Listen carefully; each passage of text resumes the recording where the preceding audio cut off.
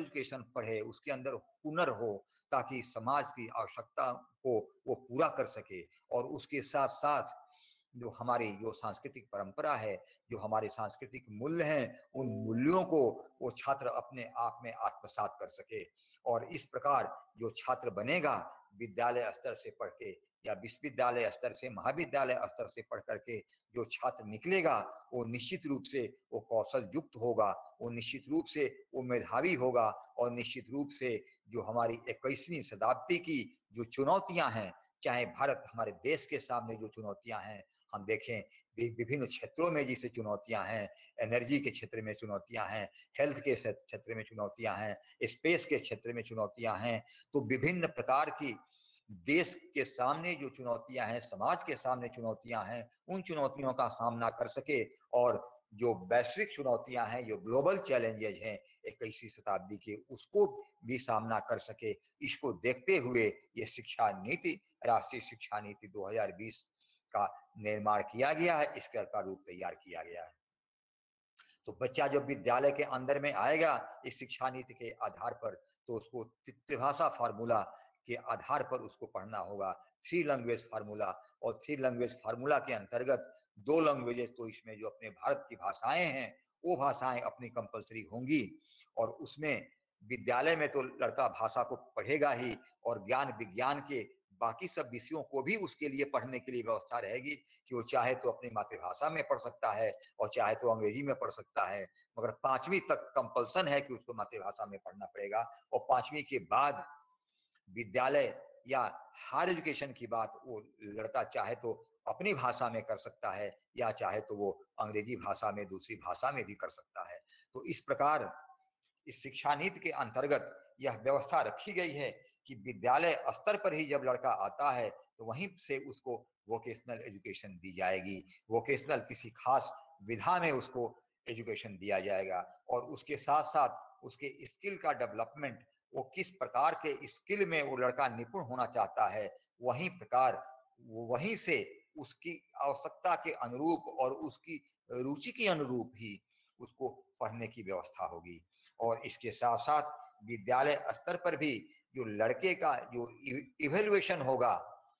तो उसकी इवेल्युएशन एक तरह से कहें तो उसको 360 डिग्री इवेल्युएशन की बात की गई है कि अभी हम लोग केवल जो परीक्षा लेकर के और इवेल्युएशन कर लेते हैं, उसके आधार पर नहीं इवेल्युएशन होगा, बल्कि 360 डिग्री इवेल्युएशन की टीचर और स्टूडेंट के इंटरेक्शन के अंतर्गत जो चीज़ें आएँगी, उसके आधार पर विकास होगा। लड़के का हाव भाव के ऊपर विकास होगा और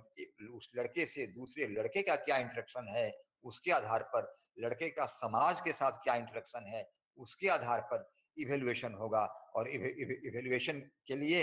ये क्या क्या तरीके होंगे, इसको सही ढंग से, इसको डिवाइस करना पड़ेगा। तो इसमें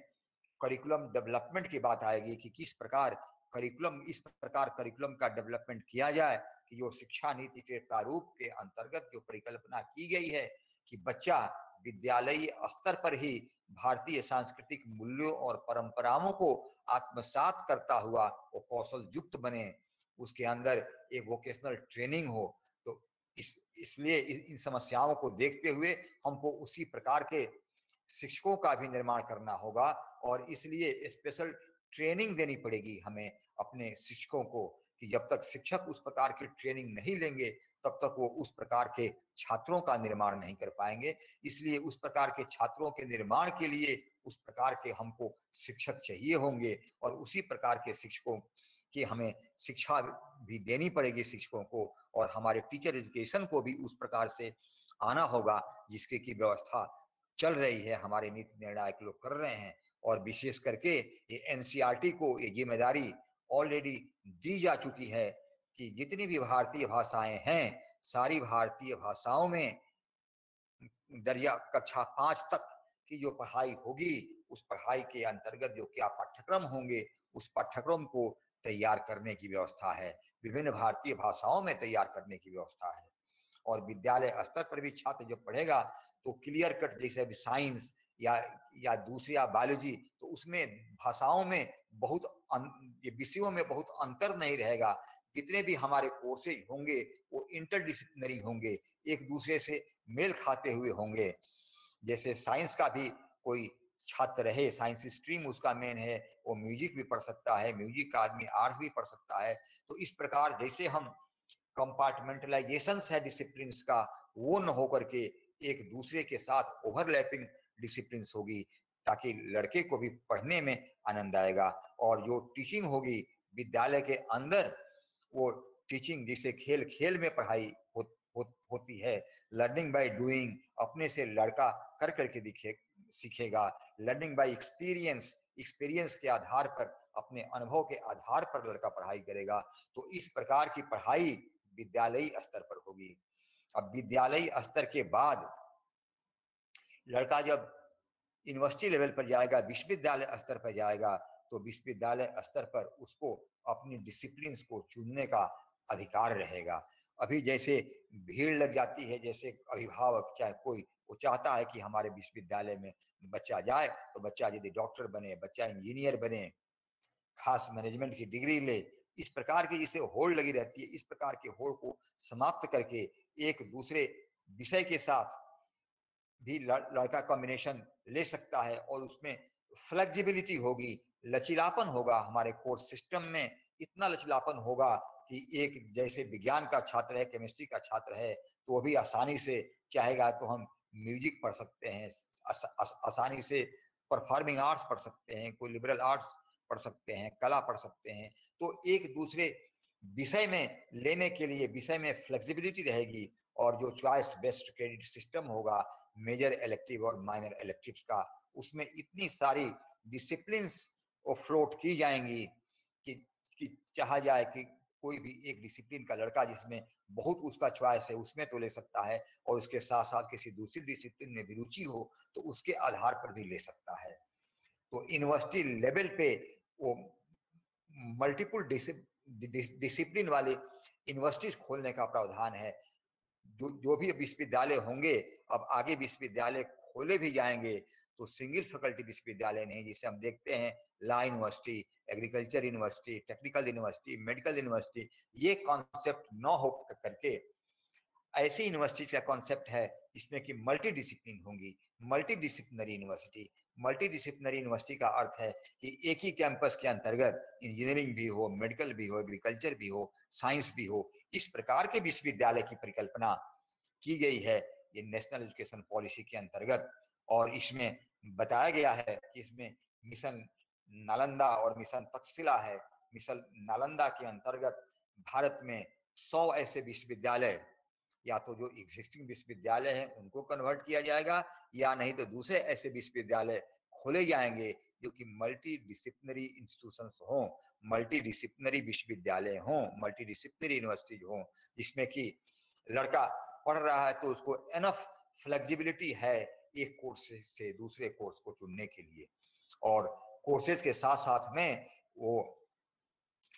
इस प्रकार रखा गया है कि क्रेडिट लड़का एक कोर्स पढ़ करके कितना क्रेडिट वो अर्न करता है, उसके लिए क्रेडिट बैंक की स्थापना का भी प्रावधान है। और क्रेडिट बैंक किस प्रकार से बनाया जाए किस प्रकार उसकी स्थापना होगी, इसके लिए कुछ आई को ऑलरेडी टास्क दिया गया है आई के लोग काम कर रहे हैं इसके ऊपर। तो एक एकेडमिक क्रेडिट बैंक की स्थापना की जाएगी, जिसका उद्देश्य ये रहेगा कि छात्र जैसे डिग्री कॉलेज में केवल एक साल ही पढ़ाई किया तो एक साल भी पढ़ाई करके और वहाँ से वो एग्जिट ले सकता है, एक सर्टिफिकेट मिल जाएगा उसको, वो एग्जिट कर सकता है। यदि वो दो साल वहाँ पर रहे तो उसको डिप्लोमा मिल सकता है। यदि तीन साल पढ़ाई करे तो उसको डिग्री मिल जाएगी, उसको बीए बीएससी की डिग्री मिलेगी और यदि चार साल पढ़ाई करेगा तब उसको फुल डिग्री विथ रिसर्च मिलेगी। तो चार वर्ष का जो ग्रेजुएशन की डिग्री है वो ग्रेजुएशन की डिग्री को चार वर्ष के रूप में रखा गया है और चारों वर्ष में मल्टीपुल एंट्री और मल्टीपुल एग्जिट का प्रावधान है कि चारों वर्ष में, किसी भी वर्ष में यदि छात्र चाहे तो उसमें एंट्री पा सकता है और किसी भी वर्ष में चाहे तो उसमें से एग्जिट पा सकता है, निकल सकता है। और जब वो निकलेगा किसी एक वर्ष में उदाहरण के तौर पर एक वर्ष ही पढ़ करके लड़का यदि निकल रहा है तो उसको सर्टिफिकेट मिलेगा और उसका क्रेडिट लिखा हुआ होगा कि इतना क्रेडिट उसने अर्न किया। और क्रेडिट नेशनल लेवल पे जो एकेडमिक क्रेडिट बैंक होगा, उसमें वो क्रेडिट उसके नाम से अकाउंट खुल जाएगा, उसके नाम से उतना क्रेडिट रहेगा। और वो लड़का दो साल, चार साल, पाँच साल बाद भी यदि आता है सेकेंड ईयर में एडमिशन लेने के लिए तो उसको मनाही नहीं रहेगी। वो सेकेंड ईयर में भी जाकर के एडमिशन ले सकता है और अपना क्रेडिट उसका क्रेडिट जो पहले बैंक में जमा है, वो क्रेडिट उसका ट्रांसफ़र हो जाएगा और फिर वो सेकेंड ईयर में भी पढ़ाई कर सकता है। तो second year third year fourth year अर्थात किसी भी वर्ष में लड़का चाहे बाहर निकल सकता है एग्जिट कर सकता है और किसी भी वर्ष में चाहे तो एंट्री कर सकता है। तो तीन वर्ष यदि लड़का पढ़ता है बैचलर लेवल पे तो उसको बी ए की डिग्री मिलेगी और चौथा वर्ष रहेगा और एक्सक्लूसिवली फॉर रिसर्च क्योंकि रिसर्च के ऊपर बहुत ध्यान दिया गया है राष्ट्रीय शिक्षा नीति 2020 में और इसलिए ध्यान दिया गया है कि आज हम शिक्षा के बदलते हुए परिवेश में यदि हम वैश्विक लेवल पर दृष्टि डालें तो किसी भी देश की प्रगति की हम बात करते हैं तो सबसे पहले वो शोध उस देश में क्या है साइंस एंड टेक्नोलॉजी का स्टैंडर्ड क्या है उस देश में, सबसे पहले हमारी दृष्टि जाती है। तो शोध रिसर्च एक बहुत इंपॉर्टेंट कंपोनेंट है हमारे इंस्टीट्यूशंस की क्वालिटी के लिए और रिसर्च एक इंपॉर्टेंट कंपोनेंट है किसी देश की प्रगति के लिए। क्योंकि हम रिसर्च करेंगे इनोवेशन के साथ, नवाचार के साथ नौनमेष के साथ तो हमारे जो जो हमारी समाज की जो आवश्यकता है समाज की आवश्यकता को ध्यान में रखते हुए यदि हम शोध करते हैं तो शोध हमारे लिए उपयोगी है। और उसी प्रकार के शोध हमें करनी भी चाहिए। हम अक्सर देखते हैं कि बहुत जगह क्या होता है, कुछ विश्वविद्यालयों में कि रिपीटेटिव शोध होते हैं। तो रिपीटेटिव शोध इसका कोई उपयोगिता न हो, उस शोध को छोड़ करके हमें उस शोध की तरफ़ बढ़ना होगा, जो कि नॉन मेसी शोध हो नवाचार जो शोध हो, समाज की जो आवश्यकता हो, उसके अनुरूप हम शोध करें ताकि हमारा जो प्रोसेस है, हमारा जो प्रोडक्ट है, वो पेटेंट हासिल हो और समाज के लिए वो उपयोगी बने, तब हमारा देश उस दिशा में प्रगति कर पाएगा। और इसी के लिए, इसी के लिए राष्ट्रीय शिक्षा नीति 2020 के अंतर्गत नेशनल रिसर्च फाउंडेशन की व्यवस्था की गई है कि पूरे देश के स्तर पर एक ऐसी नियामक संस्था होगी जिसका नाम होगा नेशनल रिसर्च फाउंडेशन और आज तक अभी हमारे देश में इस प्रकार की कोई संस्था नहीं है, राष्ट्रीय स्तर पर नहीं थी इस स्तर पर, जो कि पूरे देश में रिसर्च की मॉनिटरिंग करे। आज हम अपने कॉलेजेज में, अपने यूनिवर्सिटीज में यदि हम रिसर्च करते हैं तो उसके लिए एक्स्ट्रा मूरल फंडिंग के लिए हम अप्लाई करते हैं। तो बहुत सारी हमारे यहाँ फंडिंग एजेंसीज हैं। उदाहरण के तौर पे जैसे यूनिवर्सिटी ग्रांट कमीशन है Indian Council of Indian Council of Medical Research है Indian Council of Agriculture Research है Department of Science and Technology है डिपार्टमेंट ऑफ़ बायोटेक्नोलॉजी है मिनिस्ट्री ऑफ़ एनर्जी रिसोर्सेज है, बहुत सारी संस्थाएँ हैं जिसमें कि हम प्रोजेक्ट लिखते हैं और जिसके पास प्रोजेक्ट मिलने की संभावना कम रहती है, वो यूनिवर्सिटी ग्रांट कमीशन के पास माइनर रिसर्च प्रोजेक्ट लिखते हैं, वो भी मिलता है। तो कहने का तात्पर्य कि बहुत सारी संस्थाएँ हैं आज की तारीख में, जहाँ से कि हम फंडिंग ले सकते हैं रिसर्च के लिए, मगर उन संस्थाओं के द्वारा एक समेकित रूप से इंटीग्रेटेड रूप से मॉनिटरिंग का कोई सिस्टम देश में आज तक अभी नहीं आ पाया है, क्योंकि देश के सामने इसीलिए किस यूनिवर्सिटी को, किस एरिया में रिसर्च करना है प्रायोरिटीज अब तक फोकस नहीं हो पाई है। तो नेशनल रिसर्च फाउंडेशन जो राष्ट्रीय रिसर्च फाउंडेशन है, वो राष्ट्रीय लेवल पर क्या क्या हमारे यहाँ रिसर्च के फोकस्ड एरियाज़ होने चाहिए, वो इसकी ज़िम्मेदारी है, वो आइडेंटिफाई करेगा और उसके साथ साथ रिसर्च की फंडिंग करेगा विभिन्न यूनिवर्सिटीज में। तो जब एक ही फाउंडेशन होगा रिसर्च की फंडिंग करने के लिए तो निश्चित रूप से उसके पोर्टल पे ये होगा कि किस यूनिवर्सिटी के द्वारा क्या क्या रिसर्च हो रहा है। तो उसमें रिसर्च का डुप्लीकेशन नहीं हो पाएगा। आज क्या हो रहा है? अक्सर कि हम जाने में, अनजाने में वही रिसर्च कर रहे हैं, थोड़ा बदल के जो दूसरे विश्वविद्यालय में दूसरा कोई कर रहा है। तो ये रिसर्च के डुप्लीकेशन से हमारे रिसोर्सेज जो है अननेसेसरली खर्च होते हैं। तो और जो हम चाहते हैं कि समाज उपयोगी हमारा शोध हो, वो शोध किसी तरीके से नहीं हो पा रहा है। तो आज समाज उपयोगी शोध को करने के लिए और ऐसे शोध करें जो कि हमारे समाज के, हमारे देश के, हमारे राष्ट्र की आवश्यकताओं के अनुरूप हो। उसके लिए नेशनल रिसर्च फाउंडेशन की व्यवस्था इस राष्ट्रीय शिक्षा नीति के द्वारा की गई है। और यही National Research Foundation, National Research Foundation ये पैसा तो देंगे फंडिंग देंगे फंडिंग के साथ साथ मॉनिटरिंग भी करेंगे कि आप कि रिसर्च का प्रोग्रेस क्या है। तो फंडिंग करेंगे मॉनिटरिंग करेंगे और इसके साथ साथ आपकी मेंटरिंग भी करेंगे कि आप, आपके रिसर्च का रेगुलर प्रेजेंटेशन करा करके कैसा आपका और फीडबैक होना चाहिए। वो जो एक्सपर्ट्स हैं, वो एक्सपर्ट्स इसमें फीडबैक देंगे और एक्सपर्ट्स राष्ट्रीय और अंतर्राष्ट्रीय स्तर के एक्सपर्ट्स रहेंगे। तो इससे क्या होगा कि इससे हमको शोध करने में बढ़ावा मिलेगा, शोध की गुणवत्ता में बढ़ोतरी होगी। और शोध की गुणवत्ता में बढ़ोतरी होगी तो निश्चित रूप से हमारा शोध का स्टैंडर्ड बढ़ेगा, हमारा क्वालिटी ऑफ़ पब्लिकेशन इंप्रूव होगा। आज पूरे विश्व में हम बात करें तो पूरे विश्व में भारत साइंस एंड टेक्नोलॉजी के क्षेत्र में, रिसर्च पब्लिकेशन के क्वांटिटी के क्षेत्र में हमारा तीसरा स्थान है पूरे विश्व में। मगर क्वालिटी के क्षेत्र में हम बात करें तो क्वालिटी के क्षेत्र में हम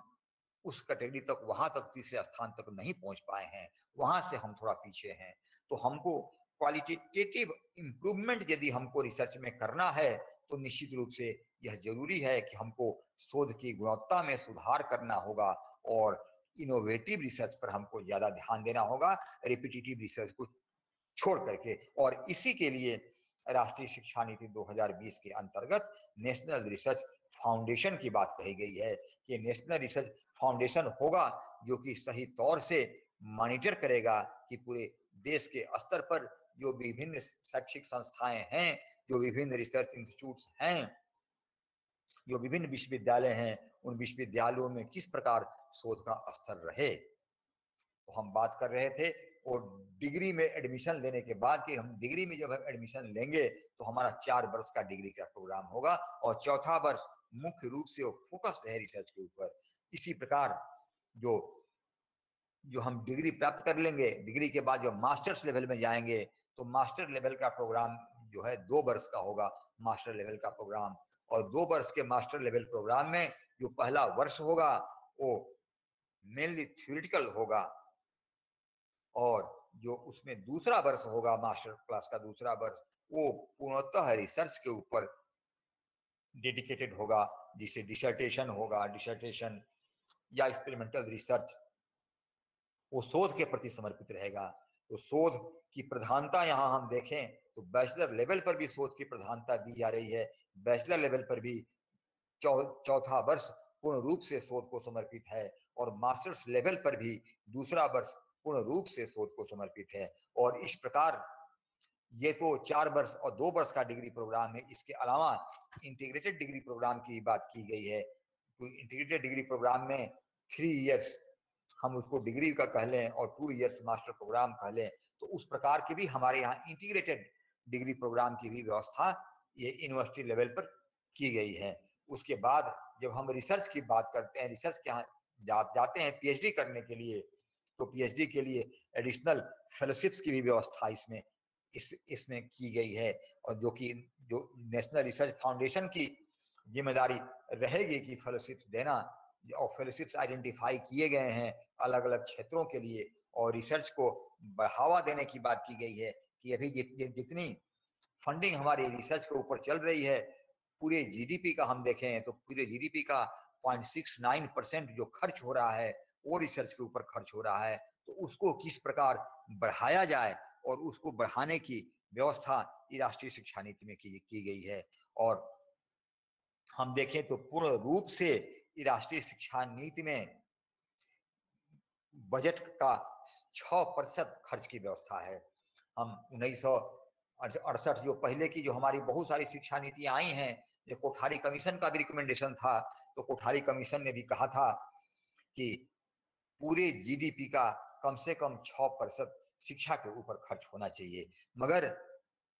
पूर्ववर्ती सरकारों ने, ने भी और कहीं भी हम ज़्यादा से ज़्यादा देखें तो जितना मैक्सिमम खर्च हो पाया है अब तक चार दशमलव कुछ प्रतिशत जीडीपी का वही शिक्षा के ऊपर खर्च हो पाया है। मगर ये राष्ट्रीय शिक्षा नीति 2020 कहती है कि हम पब्लिक पार्टिसिपेशन से इंडस्ट्रियल पार्टिसिपेशन से, सबके सहयोग से हम ऐसा करेंगे कि इसमें हमारी कुल जीडीपी का लगभग छ प्रतिशत खर्च शिक्षा के ऊपर हो। क्योंकि जब शिक्षा के ऊपर खर्च ज़्यादा होगा, क्योंकि हम इसमें नई यूनिवर्सिटी बनाने की बात की गई है, नए ढंग से टीचर ट्रेनिंग की बात की गई है तो बहुत खर्च आएगा तो उस खर्च को वहन करने की ज़िम्मेदारी किसकी होगी? ज़िम्मेदारी हम जानते हैं कि शिक्षा एजुकेशन कंकरेंट लिस्ट में है। शिक्षा पे खर्च करने की ज़िम्मेदारी केंद्र सरकार की भी है, राज्य सरकार की भी है और हमारे पुराने जमाने में जब यहाँ गुरुकुल की परंपरा हुआ करती थी तो उस समय तो समाज के ऊपर ही पूर्ण रूप से शिक्षा की ज़िम्मेदारी थी। ये गुरुकुल में जो छात्र हुआ करते थे, वो जाते थे, भिक्षाटन करके भिक्षा मांग के लाते थे समाज से और जो कुछ भिक्षा मांग करके वो ले, ले, ले आते थे भिक्षा मांग करके वही गुरु को देते थे और उसी से सबका भरण पोषण का काम चलता था। मगर अभी वर्तमान परिवेश में यहाँ की शिक्षा कंकरेंट लिस्ट में है ज़िम्मेदारी तो समाज के ऊपर है मगर केंद्र सरकार और राज्य सरकार दोनों की ज़िम्मेदारी बनती है अपने नागरिकों को शिक्षित करने के लिए और इसीलिए इस शिक्षा नीति में यह प्रावधान है कि हम अलग से रिसर्च मोबिलाइज करके इस प्रकार हम देखेंगे कि पूर्ण की शिक्षा का में छ प्रतिशत बजट, पूरा जीडीपी का छ प्रतिशत बजट शिक्षा में खर्च हो और उस तरफ़ ये शिक्षा नीति, ये आगे की तरफ़ बढ़ेगी। तो रिसर्च पर विशेष ध्यान देते हुए, चाहे वो बैचलर डिग्री की बात हो, चाहे वो मास्टर डिग्री की बात हो बैचलर डिग्री में भी एक वर्ष पूर्ण रूप से शोध के प्रति समर्पित है और जो लड़का केवल तीन वर्ष ही बैचलर डिग्री करे, चौथे न करे तो उसको भी एमएससी में लेने की व्यवस्था है। और जो लड़का बीएससी में यदि चार वर्ष पढ़ पढ़ चुका, चौथे वर्ष रिसर्च कर चुका तो उसके लिए एक वर्ष और प्लस कुछ एडिशनल रेमेडियल की व्यवस्था है मास्टर डिग्री में। तो इस प्रकार ये मास्टर मास्टर डिग्री तक लड़का जाएगा और उसी जब लड़का बैचलर और मास्टर डिग्री में जाएगा, उसी समय उसके कौशल के आधार पर उदाहरणा बन जाएगी कि आगे उसके अंदर क्या हुनर है, ये किस दिशा में जाना चाहता है। तो वो वहीं से भी अपनी पढ़ाई को डिसकंटिन्यू कर सकता है, क्योंकि किसी भी स्तर पे यहाँ पर डिसकंटिन्यू करने की व्यवस्था है। जब वो समझ लिया कि हमारे अंदर ये हुनर है, हमारे अंदर ये पर्टिकुलर स्किल का डेवलपमेंट हो गया तो उसके मुताबिक वो अपने जा सकता है समाज में अपना कार्य करने के लिए। मगर यदि वो आगे की पढ़ाई कंटिन्यू करना चाहता है, यदि वो रिसर्च की तरफ़ जाना चाहता है तो उसके लिए भी बहुत सारे आगे व्यवस्थाएँ हैं, क्योंकि नेशनल रिसर्च फाउंडेशन के द्वारा उसको फेलोशिप मिलेगी और बहुत तरह के रिसर्च प्रोजेक्ट्स भी जब टीचर्स को मिलेंगे तो इसी के द्वारा मिलेंगे। और एक राष्ट्रीय शिक्षा नीति की एक सबसे बड़ी विशेषता है कि पूरे देश में एंट्रेंस टेस्ट कराने के लिए, विश्वविद्यालय स्तर पर भी टेस्ट कराने के लिए एक सेंट्रलाइज्ड सेंट्रलाइज्ड एजेंसी की व्यवस्था है जो कि टेस्ट कराएगी और वो नेशनल टेस्टिंग एजेंसी एनटीए की व्यवस्था है कि राष्ट्रीय स्तर पर जितने भी परीक्षाएँ हैं, वो कराएँगी। होता है कि विभिन्न विश्वविद्यालयों की अपनी अपनी अलग अलग इंट्रेंस टेस्ट को परीक्षाएँ होती हैं, जिसमें कि छात्र को भी परेशानी होती है, गार्जियन को भी परेशानी होती है। इसलिए यह व्यवस्था रखी गई है कि राष्ट्रीय स्तर पर एक नेशनल टेस्टिंग एजेंसी होगी, जिसकी ज़िम्मेदारी होगी कि पूरे देश में एक साथ वो टेस्टिंग की व्यवस्था कराए एंट्रेंस टेस्ट की व्यवस्था कराए, जिससे कि सभी छात्रों को सबको सहूलियत होगी। और राष्ट्रीय शिक्षा नीति की कुछ अन्य पहलुओं के, के बारे में यदि चर्चा करें तो निश्चित रूप से यह शिक्षा नीति एक डेमोक्रेटिक तरीके से आज तक की कोई भी शिक्षा नीति इस प्रकार की नहीं बनी कि इतने ज़्यादा से ज़्यादा समय तक पब्लिक डोमेन में रखा गया हो इस शिक्षा नीति के ऊपर कमेंट्स इनवाइट करने के लिए। तो यह शिक्षा नीति है कि लगभग एक वर्ष से ज़्यादा समय तक इसका प्रारूप पब्लिक डोमेन में रखा गया था और लगभग ढाई लाख पंचायतों से कंसल्ट किया गया था। लगभग छह हज़ार छह सौ प्रखंड से कंसल्ट किया गया था। लगभग छह हज़ार शहरी निकायों से कंसल्ट किया गया था। छह सौ छिहत्तर जिलों से कंसल्ट किया गया था और इस प्रकार से जो सुझाव आए सब विभिन्न स्टेक होल्डर्स के जो सुझाव आए इस शिक्षा नीति के संदर्भ में वो लगभग सत्तर हज़ार पृष्ठों का सुझाव था। जिस सुझाव का आकलन करने, उसको समीक्षा करने में सभी इसके जो एक्सपर्ट्स मेंबर थे, उनको न जाने कितने दिन लगे, बहुत दिन लगे और तब जाकर के शिक्षा नीति का प्रारूप तैयार हुआ। तो शिक्षा नीति, ये वाकई ये डेमोक्रेटिक, इस प्रकार की डेमोक्रेटिक तरीके से बनाई गई शिक्षा नीति है कि वो ऐतिहासिक शिक्षा नीति है। इस दृष्टि से भी कि भारत के विभिन्न समुदाय, विभिन्न गाँवों, प्रखंडों, शहरी निकायों, हर प्रकार के व्यक्ति की भागीदारी इस शिक्षा नीति के मसौदे को बनाने में में ली गई। अर्थात एक तरह से कहें तो ये राष्ट्रीय शिक्षा नीति 2020 एक भारत की आत्मा झलकती है इसके अंदर कि भारत के अंदर निवास करने वाले हर वर्ग, हर समूह के लोगों का प्रतिनिधित्व हुआ है। इस शिक्षा नीति को बनाने में तब जाकर के यह शिक्षा नीति तैयार हुई है। तो शिक्षा नीति निश्चित रूप से भारत की आत्मा को दर्शाती है, भारत की सांस्कृतिक विरासत को कैसे आगे ले जाए, ऐसे युवाओं की तरफ़ शिक्षा नीति का ध्यान है कि शिक्षा नीति के अंतर्गत हमारे ऐसे युवा तैयार होंगे जो ज्ञान विज्ञान में शताब्दी की चुनौतियों का सामना करने में सक्षम होंगे, मगर उसके साथ साथ उनके अंदर उनके अंदर भावना होगी, अपने देश प्रेम की भावना होगी, अपनी मातृभूमि की महामना पंडित मदन मोहन मालवीय जी भी जो कि महान राष्ट्रभक्त थे, जिन्होंने काशी हिंदू विश्वविद्यालय जैसे विश्वविद्यालय की स्थापना की थी जिसके एक ही विश्वविद्यालय के अंतर्गत बहुत सारे मल्टी फैकल्टीज हैं, बहुत सारे फैकल्टीज हैं डिसिप्लिन हैं। आज की तारीख में हम अभी बात करें तो लगभग एक सौ चौवन वहाँ पर डिपार्टमेंट्स हैं पूरे विश्वविद्यालय कैंपस के अंदर, ताकि इंजीनियरिंग टेक्नोलॉजी मेडिसिन से संबंधित सारे हैं। तो महामना जी कहते थे अपने छात्रों से, सत्यन ब्रह्मचर्य व्यायाम आय विद्या, सत्यन ब्रह्मचर्य व्यायाम आय विद्या, देशभक्त आत्मत्यागेन सम्मानार्ह सदा भव। कहते थे महामना जी अपने छात्रों से कि सत्य का पालन करो, ब्रह्मचर्य का पालन करो, सत्यन ब्रह्मचर्य व्यायाम नाय विद्या, व्यायाम करो, देशभक्त आत्मत्यागे न क्योंकि देश भक्ति ही सबसे बड़ी भक्ति है, और आत्मत्यागे न अपना आत्म त्याग करो, त्याग की भावना रखो। सम्मानार्ह सदा भव, तभी तुम समाज में सम्मान पाने के योग्य होगे। अर्थात हम समाज में सम्मान पाने के योग्य तब होंगे जबकि हमारे अंदर देश प्रेम की भावना हो। और हमारे अंदर देश प्रेम की भावना अपनी भाषा जोड़ सकती है, अपनी मातृभाषा जोड़ सकती है, अपने जो हमारी सांस्कृतिक विरासत के जो मूल्य हैं, उन मूल्यों को आत्मसात करें तो हम अपनी मातृभूमि से जुड़ेंगे। तो इस शिक्षा व्यवस्था में वो इस प्रकार का प्रावधान है कि बच्चे को अपनी मातृभूमि से, अपनी माटी में जहाँ से पैदा हुआ है, वहाँ से अपनी मातृभाषा के प्रति लगाव, ये सब जुड़ाव पैदा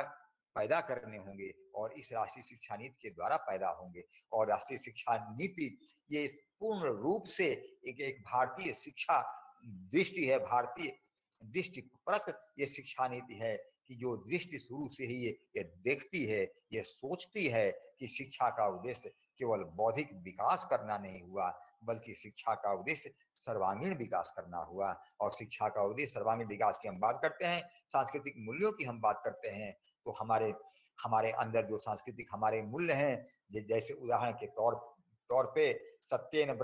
ब्रह्मचर्य ने जो बात तो हमने कही, अहिंसा सत्य अस्तेय ब्रह्मचर्य, असंग्रह, जो हमारे भारतीय संस्कृति के मूल्य रखे गए हैं, जो हमारी संवेदनाएँ हैं, करुणा है, प्रेम है, ये सब परिलक्षित होनी चाहिए हमारी शिक्षा व्यवस्था में। जो शिक्षित व्यक्ति, जो शिक्षा पाकर के जो तैयार हो रहा है, उसके अंदर ये मानवोचित गुण होने चाहिए तो हमें ये ज़्यादा आवश्यकता है।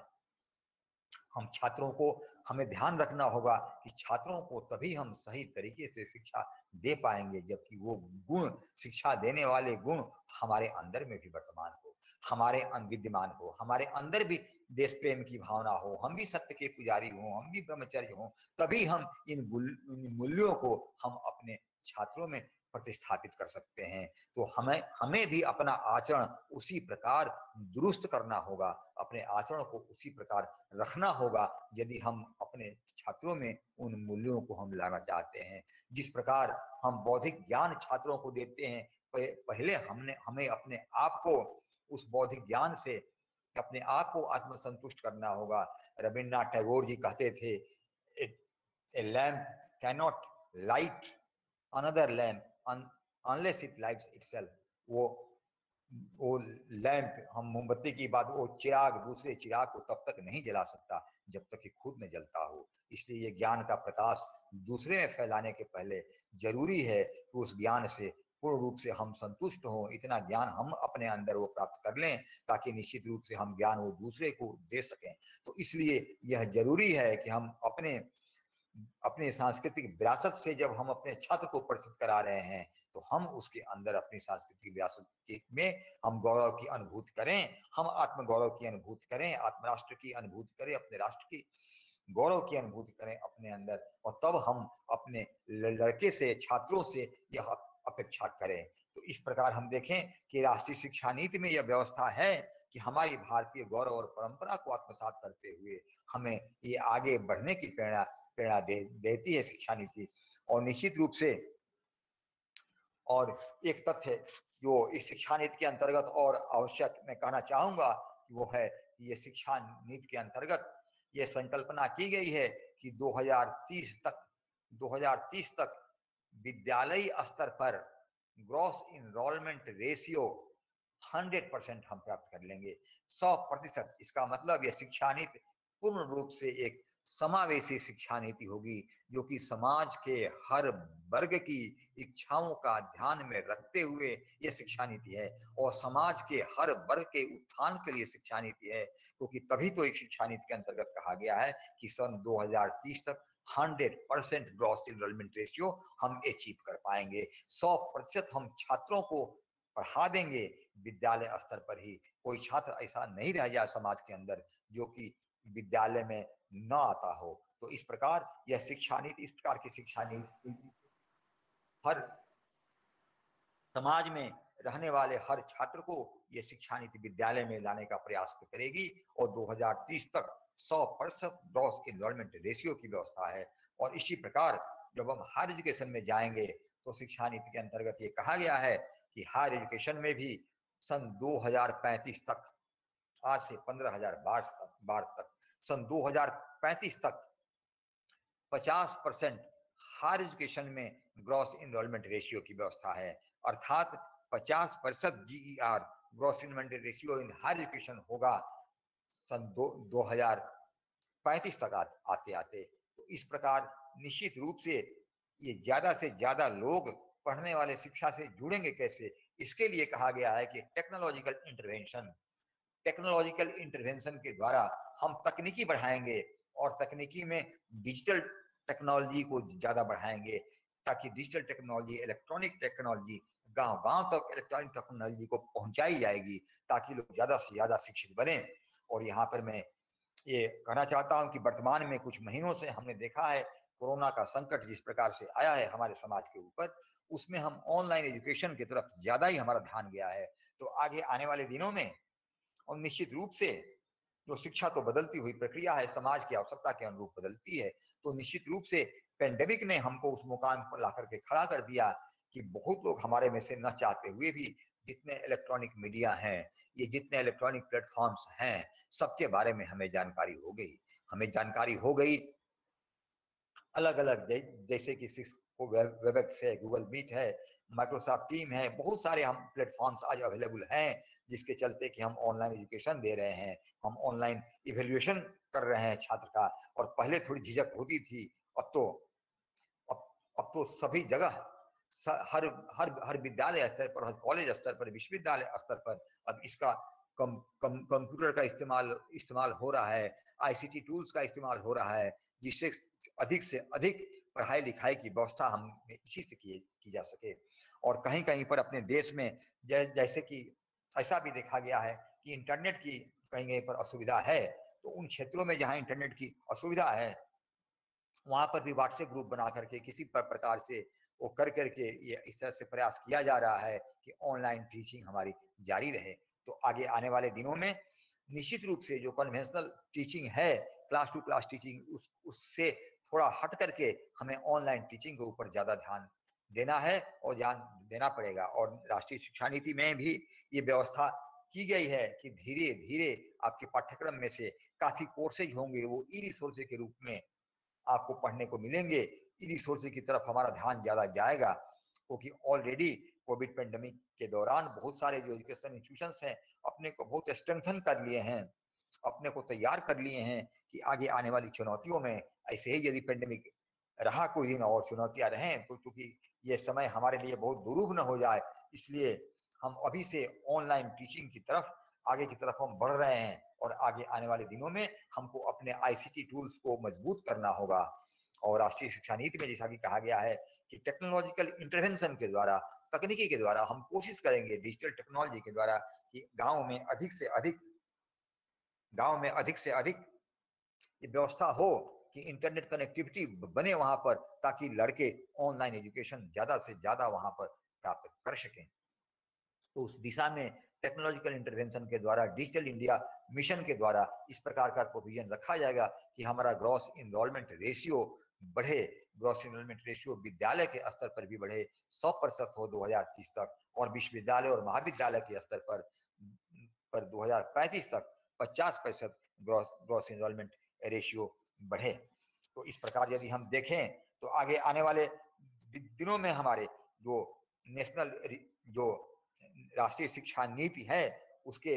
हम एक रेगुलेटरी बॉडी की भी बात करें तो जैसे अभी यूनिवर्सिटी ग्रांट कमीशन जैसे एक बॉडी है यूनिवर्सिटी ग्रांट कमीशन जो कि इन, जो जो कि हमारे विश्वविद्यालयों की फंडिंग यहाँ से आती है। मगर इसमें कहा गया है नेशनल एजुकेशन पॉलिसी में कहा गया है कि जैसे टेक्निकल एजुकेशन की अलग गवर्निंग बॉडी है। जनरल एजुकेशन के लिए यूजीसी है टेक्निकल एजुकेशन है तो कई नियामक संस्थाओं को एक करके एक होगा higher education commission of India और higher education commission of India ही वो बॉडी होगी जो कि रेगु, रेगु, रेगुलेटरी बॉडी तो होगी ही रेगुलेटरी होगी एक्रेडिटेशन बॉडी होगी उसके उसके साथ साथ बहुत सारे उसके फ़ंक्शंस होंगे। तो इसमें ध्यान दे, दे, देने की ज़रूरत है कि नियामक पूरे एजुकेशन इंस्टीट्यूशन के लिए केवल एक बॉडी होगी। ऑफ़ कोर्स लॉ को लॉ और मेडिकल को छोड़ करके बाकी जित, जित, जितने भी इंस्टीट्यूशन हैं उसके लिए एक ही होगा higher education commission of India और उसके अंतर्गत higher education commission of India के अंतर्गत चार वर्टिकल्स होंगे। चार वर्टिकल्स का मतलब रेगुलेटरी रेगुलेशन के लिए वर्टिकल अलग होगा। फंडिंग के लिए अलग होगा एक्रेडिटेशन के लिए अलग होगा, जैसा कि अभी नैक है। तो इस प्रकार हम देखें कि चार वर्टिकल्स उनके हो रहे हैं, जिनकी परिकल्पना उन्होंने किया है higher education commission of India के द्वारा। तो केवल एक रेगुलेटरी बॉडी होगी, जिसको higher education commission of India कहेंगे। और higher education commission of India की यह भी ज़िम्मेदारी होगी कि जो हमारे degree colleges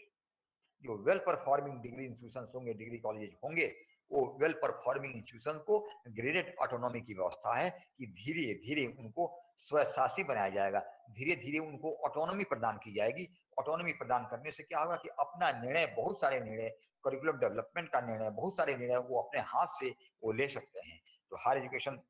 commission of India के द्वारा बहुत सारी जो बॉटल नेक्स थी, जो बहुत सारी जो असुविधाएँ हुआ करती थी धीरे धीरे वो असुविधाएँ खत्म हो जाएँगी। ये जैसा कि इसमें प्रावधान किया गया है। और और और इस, इसके अलावे जैसा कि मैंने कहा कि six percent of the GDP के खर्च करने की इसके अंदर व्यवस्था है कि हम कहीं से धन जुटाएँगे, प्राइवेट संस्थाओं के द्वारा धन जुटाएँगे और जहाँ से भी हो पैसा जुटाते हुए हम, हमारा ये प्रयास रहेगा कि हाई क्वालिटी का एजुकेशन हो और जो एजुकेशन इंस्टीट्यूशन हैं, वो मल्टी डिसिप्लिनरी इंस्टीट्यूशन होंगे। तो इस प्रकार हम देखते हैं कि हम विद्यालय स्तर से लेकर के उच्च शिक्षा के स्तर तक वो यूनिवर्सिटी स्तर तक भी हम जाएँ तो पाते हैं कि लड़के का डेवलपमेंट उसके ऑलराउंड डेवलपमेंट की तरफ़ ज़्यादा एजुकेशन पॉलिसी फोकस कर रही है और लड़के का फाउंडेशन तो विद्यालय के स्तर पर ही तैयार हो जा रहा है और जब हायर एजुकेशन की बात लड़का जा, जाता है तो निश्चित रूप से उसकी पर्सनालिटी का होलिस्टिक डेवलपमेंट होगा क्योंकि वो रिसर्च के लिए भी जो फोकस्ड एरिया है, वो मल्टीपुल एरिया के इंटरफेस पे रिसर्च के लिए भी वो काम कर सकेगा और रिसर्च उस प्रकार का हो सकेगा जो कि बिल्कुल क्वालिटी ओरिएंटेड रिसर्च हो। रिसर्च के अंदर में गुणवत्ता होगी और गुणवत्ता होने के साथ साथ वो रिसर्च इस तरह का होगा कि समाज के लिए सीधे उपयोगी हो पाएगा। तो आज हमें उस प्रकार की, के रिसर्च के उस प्रकार की शोध की आवश्यकता है ताकि हम समाज की आवश्यकताओं की पूर्ति कर सकें। हमारे यहाँ कहा गया है यूनिवर्सिटी या centre for creation of knowledge जो हमारे विश्वविद्यालय हैं वो शिक्षा के सृजन के केंद्र हैं। तो निश्चित रूप से जो शिक्षा के ज्ञान के सृजन के केंद्र है हमारे विश्वविद्यालय, और ज्ञान का सृजन होगा कैसे? तो ज्ञान का सृजन विज्ञान का सृजन तो होता है शोध के द्वारा, और जब शोध होगा तो शोध को यूटिलाइज करने वाला, उसको यूज़र इन पे ले जाने वाला इंडस्ट्रीज़ के लोग होंगे कंपनी के लोग होंगे हमारा समाज होगा सोसाइटी के हमारे प्लानर्स होंगे जो जो जो जो, जो हमारे शोध के द्वारा जो निकलेगा वो रिसर्च जो ज्ञान निकलेगा उसको वो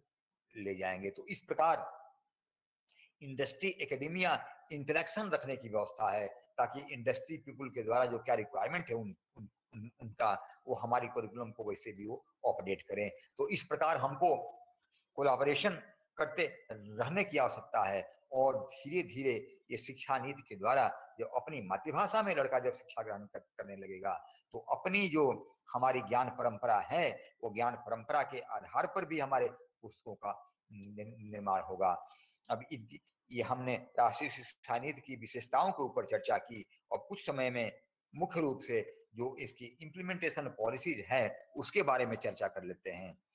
वो भारत सरकार के द्वारा मिनिस्ट्री ऑफ़ एजुकेशन के द्वारा ऑलरेडी जो टास्क फोर्स का गठन किया किया गया है, जो कि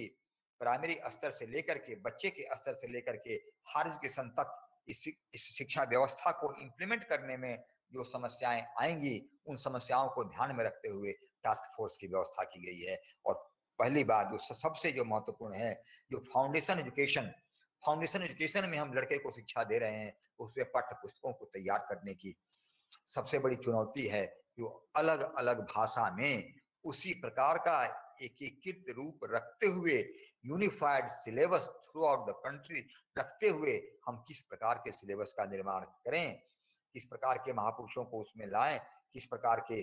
जो भारतीय सांस्कृतिक मूल्य की मूल्य है, परंपराएँ हैं, उनको मूल्यों को किस प्रकार उसमें लाया जाए तो इसके लिए एनसीआरटी की ज़िम्मेदारी दी गई है। और ये टास्क फोर्स का गठन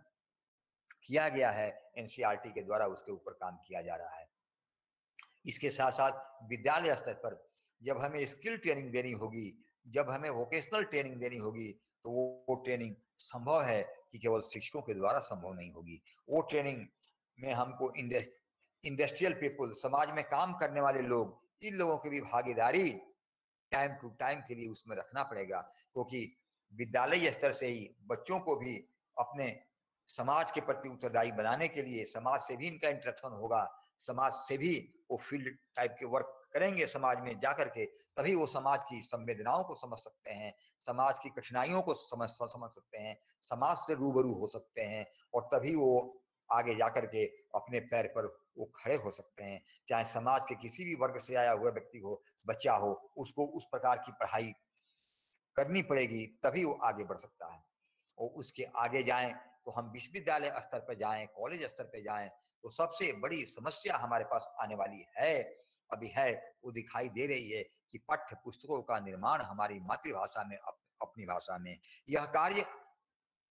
असम असंभव नहीं है लेकिन थोड़ा कठिन ज़रूर है और कठिन को हल्का किया जा सकता है नेशनल लेवल पर। टास्क फोर्स बना के और उसको किया भी जा रहा है कि हमारे यहाँ जो ज्ञान विज्ञान की जो सामग्री रही है, वो संस्कृत और भारतीय भाषाओं में रही है, जो परंपरागत ज्ञान विज्ञान की सामग्री है। और हमारे यहाँ, हमारे देश में भी एक से एक विद्वान हैं, जो कि अंग्रेज़ी में पारंगत हैं और वही विद्वान हिंदी में पारंगत हैं, वही विद्वान विद्वान अन्य भारतीय भाषाओं में पारंगत हैं। इसलिए हम निश्चित रूप से हमें आवश्यकता आएगी, जो कि एक चुनौती है, आवश्यकता आएगी कि नेशनल लेवल पर हम टास्क फोर्स बना करके हम साइंस टेक्नोलॉजी इंजीनियरिंग सारी बुक्स की रचना, हम अपने मौलिक रचना अपनी भाषा में करें और उसके साथ साथ जो उनका भी, उनकी भी जो पुस्तकें हैं, जो अंग्रेज़ी में जो ज्ञान विज्ञान की पुस्तकें हैं, जो कि नहीं है दूसरी भाषाओं में, उनका भी हम ट्रांसलेट चाहें तो हम कर सकते हैं अपनी भाषाओं में। उसके लिए मानसिकता की आवश्यकता होगी, उसके लिए सरकार की तरफ़ से छूट की आवश्यकता होगी। उस प्रकार से वो सब्सिडाइज किया जाएगा टास्क फोर्स का गठन करके इस तरीके से कि मौलिक पुस्तक लिखने का प्रोत्साहन मिले शिक्षकों में ताकि शिक्षक मौलिक पुस्तकों को लिख सकें और पुस्तकें अनु, अनु, अनुदित भी हो सकें पुस्तकें ट्रांसलेट भी की जा सकें दूसरी भाषा में। हम बहुत सारे विदेशों में हम लोग जाते हैं तो विदेशों में देखते हैं कि इंडियन टेक्स्ट भी जो हमारे ज्ञान विज्ञान के ग्रंथ थे जो हमारे यहाँ वेद थे और बहुत अलग अलग जो ऋषि महर्षि थे उन, उन्होंने भी बहुत पुस्तकें लिखी तो वो पुस्तकें हमारे यहाँ संस्कृत भाषा में या दूसरी भारतीय भाषाओं में रह गई और हमको जो ज्ञान विज्ञान जो पढ़ना पड़ा, जो साइंस पढ़ना पड़ा, वो हमें पाश्चात्य भाषा के चश्मे में आकर के हमको पढ़ना पड़ा। इसलिए पाश्चात्य संस्कृति के चश्मे में हमको पढ़ाया गया अपने ज्ञान विज्ञान को। तो आज आवश्यकता है कि नई शिक्षा नीति, राष्ट्रीय शिक्षा नीति 2020 ने वो राह प्रशस्त किया है। कि वो राह जो कि हमारी पुरानी परंपरा, हमारी पुरानी परंपरा थी, हमारे पुराने जो धर्म ग्रंथ थे, हमारे संस्कृत भाषा में थे उनको पुनः लाने की आवश्यकता है। क्योंकि हमको वैल्यूज़ मिलेंगे वही से, मानव मूल्य हमको मिलेंगे वही से, आत्मगौरव का अनुभव होगा वही से। हम जब जानेंगे कि हमारी विरासत कितनी मज़बूत है तो निश्चित रूप से हम अपनी विरासत को लेकर के आगे बढ़ने की दिशा में हम बढ़ेंगे। तो आज आवश्यकता है कि हमें किताबों की उच्च शिक्षा में मौलिक पुस्तकों की रचना करने की और अनुदित पुस्तकों की रचना करने की। उसके अलावा हमें आवश्यकता है कि शोध जैसा कि मैंने कहा, एक चैलेंज है कि शोध शोध सबसे बड़ी समस्या है कि हमको क्वालिटेटिव इंप्रूवमेंट करना है, गुणात्मक परिवर्तन करना है। हम शोध संख्या के आधार पर तो कर रहे हैं, जैसा कि मैंने कहा कि हम विश्व में तीसरे स्थान पर हैं। मगर क्वालिटी ओरिएंटेड रिसर्च की बात करें तो हम थोड़ा पीछे हैं तो हमको वो क्वालिटी को बढ़ाना पड़ेगा और उसके लिए हमको जी जान से लगना पड़ेगा, एक यूनिवर्सिटी लेवल पे ही टास्क फोर्स बना करके करना पड़ेगा और इस नई एजुकेशन पॉलिसी के जो विभिन्न पहलू हैं, उनको इम्प्लीमेंट करने के लिए हमको मिल बैठ करके सभी स्टेक होल्डर्स को चर्चा करनी पड़ेगी, विश्वविद्यालय स्तर पर चर्चा करनी पड़ेगी नेशनल लेवल पर तो कोलाबोरेशन कॉपरेशन होगा ही जो हम लोग चाहेंगे उसके मुताबिक मगर अपने लेवल पे नई शिक्षा नीति की विशेषताओं को जन जन में ले जाना ये, हमारे यहाँ ये आज आज की सबसे बड़ी आवश्यकता है। और इसको समझाने की आवश्यकता है कि इस नई राष्ट्रीय शिक्षा नीति से इस प्रकार के युवाओं का निर्माण होगा कि वैश्विक चुनौतियों का तो सामना करेंगे उसके साथ साथ अपनी जो जो भारतीय संस्कृति है उसको भी आत्मसात करते हुए लेकर के हमें आगे आगे बढ़ना है। तो हम देखें कि राष्ट्रीय शिक्षा नीति वास्तविक रूप से ये चौंतीस वर्ष बाद जो उन्नीस सौ छियासी के बाद वो शिक्षा नीति आई है, वो भारत के दृष्टिकोण को को रखते हुए ये शिक्षा नीति है कि एक शिक्षा नीति से ऐसे युवाओं का सृजन होगा कि वो वास्तव में जो हम परिकल्पना करते थे कि हम आज जो पढ़ लिख करके सही मनुष्य नहीं बन पा रहे हैं तो राष्ट्रीय शिक्षा नीति सही नीति सही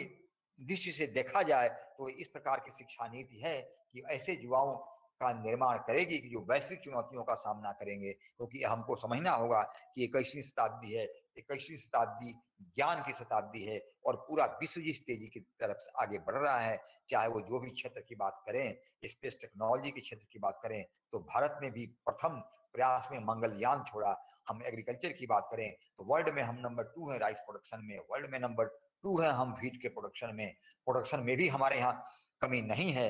मगर एक वैसी संस्कृति को बना करके हमको लेकर के चलना है कि जिस संस्कृति से हमें भारतीयता झलके और भारत चूँकि विश्व गुरु था तो उसी आदर्श को लेकर के हमें अपने अंदर चलना है और हम, हमको अपने अपने अंदर के आत्म गौरव को जगाना होगा, हमें अपने अंदर के आत्मसम्मान को जगाना जगाना होगा, हमें देश प्रेम की भावना से हमें जुड़ना होगा ताकि हम आगे चल करके हम कहीं भी रहे समाज में तो हम भारत का प्रतिनिधित्व करें, भारतीय मूल्यों का प्रतिनिधित्व करें और वैश्विक चुनौतियाँ, जो चुनौतियाँ हैं, विश्व पटल के सामने, विश्व के सामने, उन चुनौतियों का भी सामना करने में हम सक्षम हों। इस प्रकार के युवाओं का निर्माण हमारे यहाँ शिक्षा संस्थानों में होना ज़रूरी है। महामना पंडित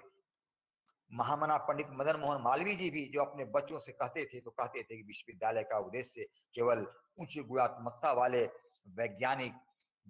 वैज्ञानिक समाज सेवी और अभियंता बनाना ही नहीं है, बल्कि उससे ज़्यादा ज़रूरी है कि उच्च चरित्र वाले युवाओं का निर्माण करना, क्योंकि character building character building is the mean main purpose of education Mahamana Pandit Madan Mohan Malaviya ji भी कहते थे, और आज ये आवश्यकता है कि हम बौद्धिक विकास के साथ साथ चारित्रिक उन्नयन करें और भारतीय मूल्यों को अपने अंदर आत्मसात करते हुए चारित्रिक उन्नयन करें, ताकि हम सही रूप से भारत का प्रतिनिधित्व कर सकें। और ये राष्ट्रीय शिक्षा नीति 2020 में वो सब कुछ है जिसकी चर्चा हम अभी अभी हम लोगों ने किया। और निश्चित रूप से इस शिक्षा नीति जब लागू होती है तो ये सबकी ज़िम्मेदारी बनती है और सरकार की तो ज़िम्मेदारी है, सरकार ने तो कह दिया स्पष्ट रूप से कि यह शिक्षा नीति, हम सबकी शिक्षा नीति है, ये समाज की शिक्षा नीति है, हर व्यक्ति महसूस करेगा कि यह हमारे लिए शिक्षा नीति है। तो यह हम सबकी भागीदारी बनती है कि शिक्षा नीति को पूर्ण मनोयोग के साथ इसका हम इम्प्लीमेंटेशन करें और तब इसको हम लेकर के आगे बढ़ें ताकि हमारा भारत, आत्मनिर्भर भारत बन बने और उसके साथ साथ आत्मनिर्भर भारत बनते हुए भारत जो पहले विश्व गुरु था, आगे आने वाले दिनों में फिर से भारत विश्व गुरु बने। हम उस तरफ़ हमको चलना है, उस दिशा में हमको चलना है। इसी के साथ मैं अपनी वाणी को विराम देता हूँ और पुनः मैं एक बार आभार व्यक्त करना चाहता हूँ। आप सबका, आप आयोजक मंडल के सभी सदस्यों का कि आप सबने यह मौका दिया कि मैं अपने विचारों को आपके समक्ष प्रस्तुत कर सकूँ। बहुत बहुत बहुत बहुत धन्यवाद। बहुत बहुत धन्यवाद, सर। आपका जो ये लेक्चर था, ये ये गागर में सागर भरने के समान था वो। आपने बहुत ही संक्षिप्त में, बहुत ही सही तरीके से आपने राष्ट्रीय शिक्षा नीति के बारे में बताया। आपने भारतीय संस्कृत के तक्षशिला मगध से शुरुआत की। और फिर आपने बताया कि कैसे ब्रिटिशों ने, खासतौर से मैकाले ने जो भारतीय के जो माइंड का कोलोनाइजेशन किया था वो, ये जो नई राष्ट्रीय शिक्षा नीति है वो, इसको डीकोलोनाइजेशन का काम करेगी वो। तो सर, आपका बहुत बहुत आभार। आपने बात की, अनुसंधान की, आपने कहा कि कैसे यह शिक्षा नीति अनुसंधान पे बल देती है वो। तो आपका मार्गदर्शक, आपका जो विचार है, हम विद्यार्थियों के लिए, हम शिक्षकों के लिए बहुत लाभान्वित हैं। सर, हम लोग बहुत आभार हैं कि आपने अपना एक बहुत महत्वपूर्ण समय दिया, अपनी व्यस्तता से समय दिया। आपको बहुत बहुत सादर प्रणाम, सादर नमस्कार सर। इसी क्रम में मैं doctor Shakuntala Mishra national rehabilitation university के माननीय कुलपति प्रोफेसर राणा कृष्णपाल सर से अनुरोध करता हूँ कि सर आए और अपने प्रेसिडेंशियल एड्रेस से हमारे आज के कार्यक्रम को लाभान्वित करें। डॉक्टर शकुंतला मिश्रा राष्ट्रीय पूर्वांश विश्वविद्यालय, जैसा कि आप लोग जानते हैं कि एक यूनिक विश्वविद्यालय है, जिसमें 50 परसेंट रिजर्वेशन दिव्यांग व्यक्तियों के लिए है वो। और हमारे वर्तमान यशस्वी कुलपति प्रोफेसर राणा कृष्णपाल सर समावेशिक शिक्षा के क्षेत्र में दिव्यांग विद्यार्थियों को आगे बढ़ाने में एक बहुत ही महत्वपूर्ण योगदान देना चाह रहे हैं। मैं सर से अनुरोध करता हूँ कि सर आए और हमें अपने विचारों से लाभान्वित करें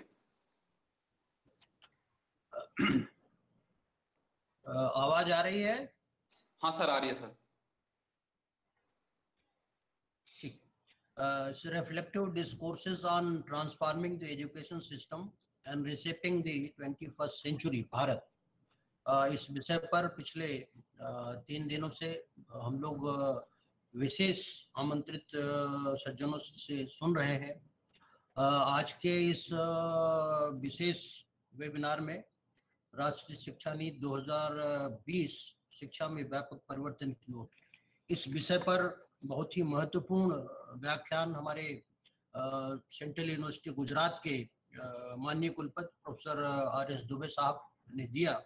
मैं आपको प्रणाम करता हूँ और विशेष रूप से आपके इस बहुत ही अच्छे व्याख्यान के लिए आपके प्रति आभारी भी हूँ। साथ ही national institute for the empowerment of person with visual disabilities Dehradun के निदेशक महोदय को भी मैं धन्यवाद करना चाहता हूँ, क्योंकि हमारे इस विश्वविद्यालय के साथ उन्होंने कोऑर्डिनेट करके इस वेबिनार के आयोजन में काफ़ी मदद किया है। इस वेबिनार के आयोजन में लगे हुए सभी विद्वजन विशेष रूप से doctor Rajni Ranjan Singh doctor Pankaj Kumar, doctor Vikas Rai तथा तो अन्य जो भी इसमें सहायक के रूप में जुड़े हुए हैं, सभी को मैं धन्यवाद देता हूँ। और इस वेबिनार यानी इस कार्यक्रम में जुड़े हुए सभी प्रतिभागी गण माननीय दुबे जी से इतना कुछ सुनने के बाद मुझे ऐसा नहीं लगता है कि मैं इसमें और कुछ जोड़ सकूँ, लेकिन मैं एक दो चीज़ें, क्योंकि लगभग जितने भी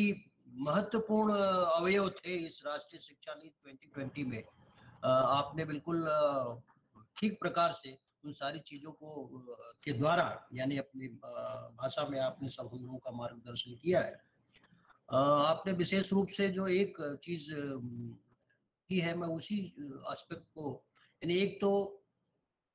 जीडीपी की बात जो आपकी, ने की है, बिल्कुल बहुत ठीक कहा आपने, क्योंकि किसी भी देश में जो शिक्षा होती है उस देश की एक तरह से वो नीति निर्धारण में सहायक होती है, और वही उस देश को आगे किस दिशा में ले जाना है, ये मार्गदर्शन उसके, शिक्षा के द्वारा ही हमको मिलता है। तो जो एक जीडीपी का, जो पहले 4.25 या 4.5 आप कह सकते हैं, लगभग जो जीडीपी था, उसको बढ़ा करके जो छह प्रतिशत किया गया है, वो एक विश्व के अनुरूप मुझे लगता है कि वो लाने की एक प्रक्रिया है और मुझे लगता है कि आगे इस पर और भी बढ़ोतरी होगी। तो जो भी व्यय आना चाहिए, वो उसकी दिशा में एक माने आप कह सकते हैं कि सार्थक और महत्वपूर्ण परिवर्तन है। दूसरा प्रोफेसर दुबे साहब ने जो है, वो हमारे नेशनल रिसर्च फाउंडेशन की बात की। बहुत ही अच्छा इसमें प्राविधान है। मुझे ऐसा लगता है कि अभी तक जो मैं देख रहा था, अपने देश में लगभग 0.69 परसेंट जीडीपी का ही शोध या रिसर्च के लिए जो है वो आवंटित हुआ करता था, जबकि दूसरे अच्छे, जो बड़े डेवलप कंट्रीज़ हैं, जहाँ पर कि हम देख रहे हैं वहाँ दो से लेकर के और ढाई प्रतिशत, टू पॉइंट फाइव प्रतिशत तक जो है जीडीपी का शोध के प्रति जो है वो आवंटन फंड का हुआ करता था परंतु इसमें जो एक सबसे अच्छी चीज़ है आ, मैंने देखा कि लगभग पचास हज़ार करोड़ रुपए का एक आवंटन जो है वो नेशनल रिसर्च फाउंडेशन बनाने के साथ ही इसमें मुझे जो जानकारी है वो किया गया है और ये बहुत ही अच्छा है और इस फंड के द्वारा विशेष रूप से जो जैसा प्रोफेसर दुबे साहब ने भी बताया कि हम क्वांटिटी में तो तीसरे नंबर पर है मैंने आप कह सकते हैं कि तीसरे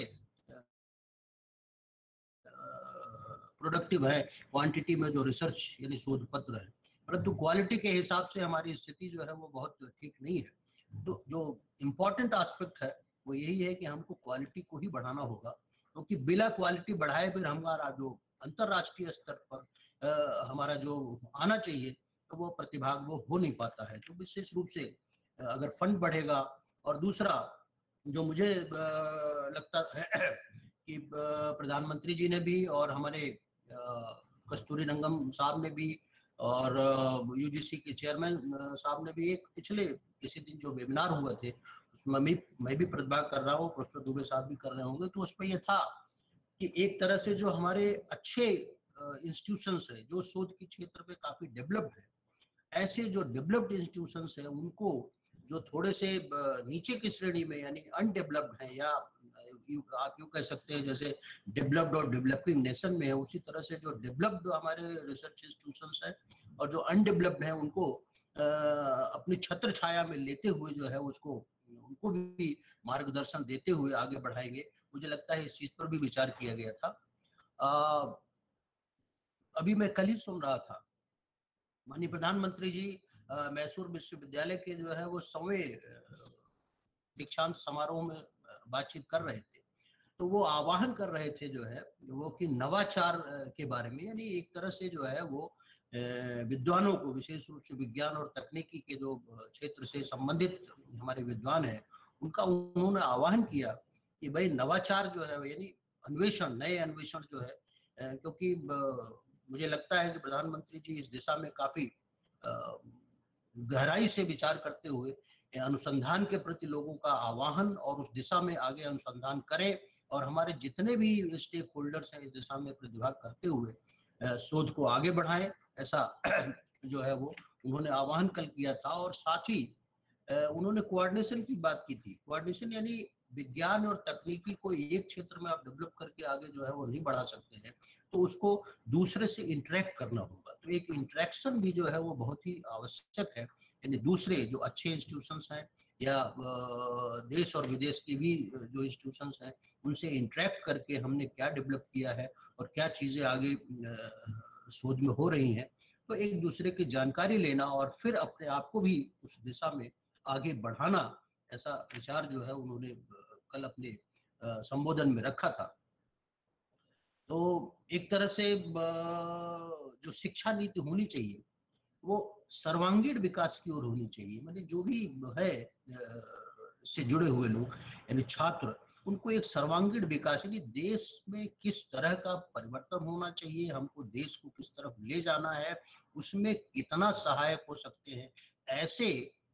विकसित मानव, यानी एक तरह से आप कह सकते हैं कि वो, जो आगे इस देश को ले जा सके। उसका जो है वो कैसे आगे बढ़ाएँगे? शिक्षा विशेष रूप से उस तरह की होनी चाहिए। और ये बाहर विशेष रूप से जैसा अभी प्रोफेसर दुबे साहब ने भी बताया कि इसमें कई स्टेक होल्डर हो सकते हैं, लेकिन मेरे विचार से तो जो अध्यापक है, यानी जो गुरु है, जिनको इसको आगे बढ़ा करके ले जाना है, छात्रों को शिक्षित करना है, उनका सबसे अधिक जो है वो दायित्व बनता है। तो अध्यापकों से विशेष रूप से इस पर जो है वो विचार करना होगा। और सही कहा जो हमारे प्रोफेसर दुबे साहब ने कि विश्व गुरु अपना देश जो है एक विश्व गुरु की परिकल्पना जो थी, जो पहले था भी, उसको कैसे हम पुनर्स्थापित करेंगे, उसके लिए इस शिक्षा नीति के द्वारा एक वैश्विक मानव यानी आप कह सकते हैं, जो विश्व कल्याण की दिशा में सोच करके आगे चले, ऐसे मानव का निर्माण करना और पुनः एक सशक्त, समर्थ और आत्मनिर्भर भारत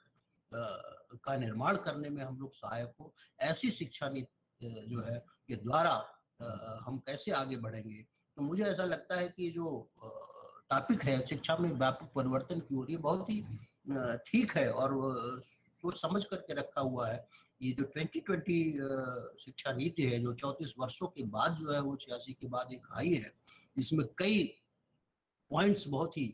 इम्पोर्टेंट है। उसके द्वारा हम निश्चित रूप से एक आत्मनिर्भर और बहुत ही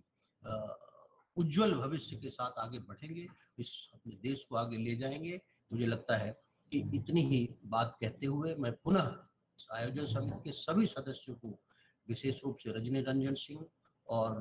बाकी जो लोग जुड़े हुए हैं, सबका आभार व्यक्त करता हूँ और धन्यवाद ज्ञापित करता हूँ कि मुझे भी इससे जुड़ने का आप लोगों ने एक अवसर दिया। और पुनः मैं प्रोफेसर आर एस दुबे साहब को और हिमांशु दास जी को धन्यवाद ज्ञापित करते हुए अपनी बात समाप्त करता हूँ। धन्यवाद। धन्यवाद सर, बहुत बहुत धन्यवाद। सर, आपने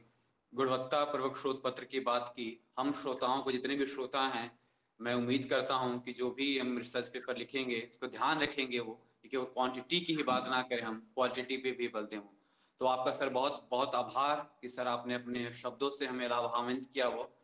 बहुत बहुत धन्यवाद सर, शादर प्रणाम। डॉक्टर हिमांशु दास सर आज किसी कारणवश, तकनीकी वजह से नहीं ज्वाइन कर पाए हैं वो। मैं सर का भी बहुत आभार कर अपना व्यक्त करता हूँ कि सर आप आए थे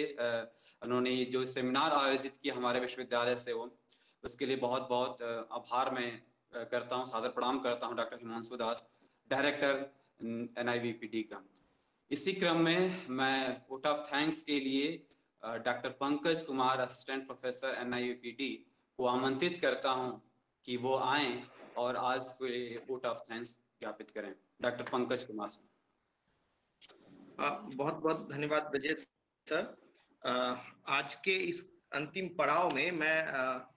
सबको धन्य, धन्यवाद ज्ञापन करने के लिए आपने अवसर दिया है। तो सबसे महत्वपूर्ण जो आज हमारे ओजस्वी वक्ता आज हमारे बीच मौजूद थे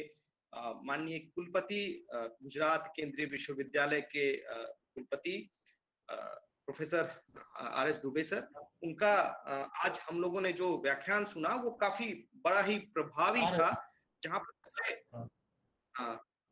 जहाँ पर उन्होंने बताया कि किस प्रकार से भारत की ज़िम्मेदारी सिर्फ़ युवाओं के क्षेत्रीय समस्याओं तक नहीं है बल्कि एक वैश्विक युवा के रूप में बनाने की दिशा में हमारी शिक्षा नीति काम करे। इसके लिए उन्होंने अपना एक अच्छा एक एक उनका उद्बोधन था, जिसमें उन्होंने राष्ट्रीय शिक्षा नीति उस ओर कैसे इसको सपोर्ट करेगी, इस पर उन्होंने बहुत अपना एक पक्ष रखा। उनका बहुत बहुत धन्यवाद सर आपका कि आप हमसे जुड़े, आपने हमारा निमंत्रण स्वीकार किया और हमारे बीच सभी श्रोताओं को आपने लाभान्वित किया और इतने लोग भी, बहुत सारे लाइव भी इस कार्यक्रम को देख रहे थे सर। इस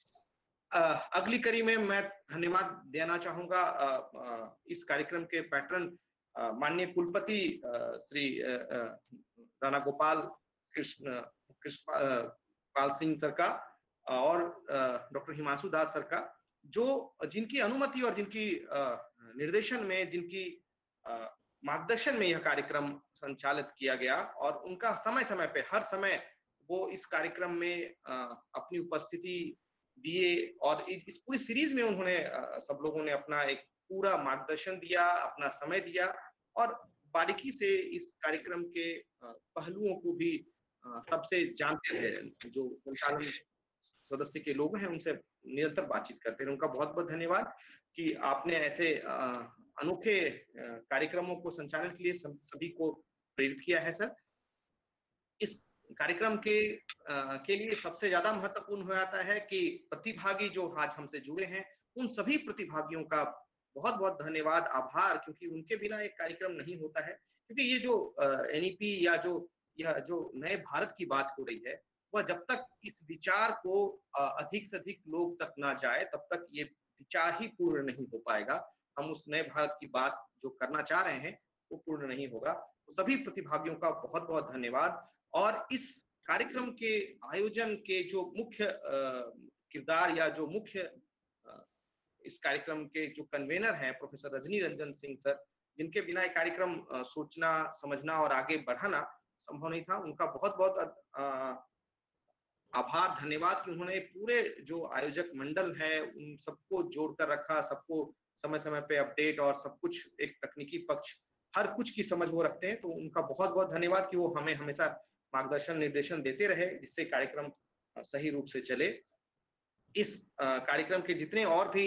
आयोजक के साथ में हमारे साथी जुड़े हुए हैं, सुनील सर, ब्रजेश साहब, सब लोगों का बहुत बहुत धन्यवाद। और इस कार्यक्रम के बैकग्राउंड में कितने लोगों ने, जो कुछ लोग लाइव कर रहे हैं, मुकुल भावना वगैरह, टेक्निकल सपोर्ट कर रहे हैं, ऐसे कई लोग जुड़े हुए हैं, प्रत्यक्ष अप्रत्यक्ष रूप से सब लोग साथ मिला है, तभी कार्यक्रम संचालित हुआ, हो पा रहा है। सभी का बहुत बहुत धन्यवाद। हम फिर मिलेंगे अगले और अगले कार्यक्रम के लिए नोटिफिकेशन व्हाट्सएप पे सबको प्रेषित किया जाएगा। सभी को फिर से जुड़ने के लिए बहुत बहुत धन्यवाद थैंक यू सो मच बहुत बहुत धन्यवाद पंकज जी आपका भी। थैंक यू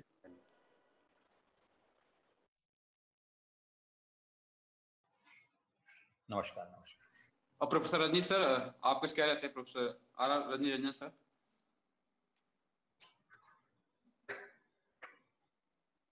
लग रहा है sir professor R R sir का कुछ डिस्टर्ब हो गया। मैं सबको पुनः धन्यवाद देता हूँ, प्रणाम करता हूँ अपने गुरुजनों को वो, कि सर लोगों ने आज का समय दिया, अपने बहुमूल्य कीमत समय निकाला। Professor Dubey sir, professor Rana Krishnapal sir sir का वीसी सर का वो, कि आप लोगों ने समय निकाला, हमें लाभान्वित किया वो। आप लोगों का सादर प्रणाम, सादर आभार करता हूँ क्या दिया वो। सभी श्रोताओं को मैं धन्यवाद देता हूँ कि आप लोगों ने बड़े ध्यान से सर लोगों की बातें सुनी वो, और जो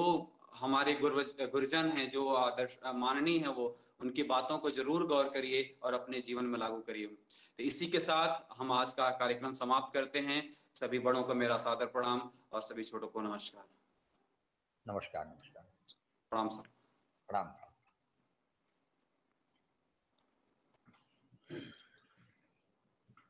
सभी श्रोता हैं वो अपने आप को पिक कर लें।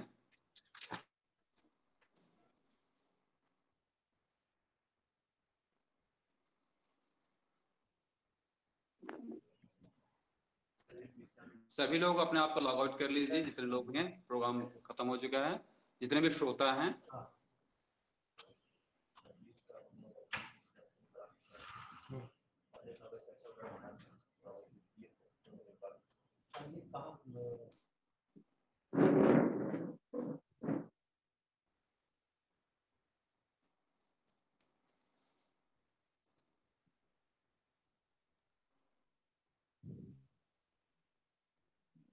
सभी लोग लॉग आउट करें।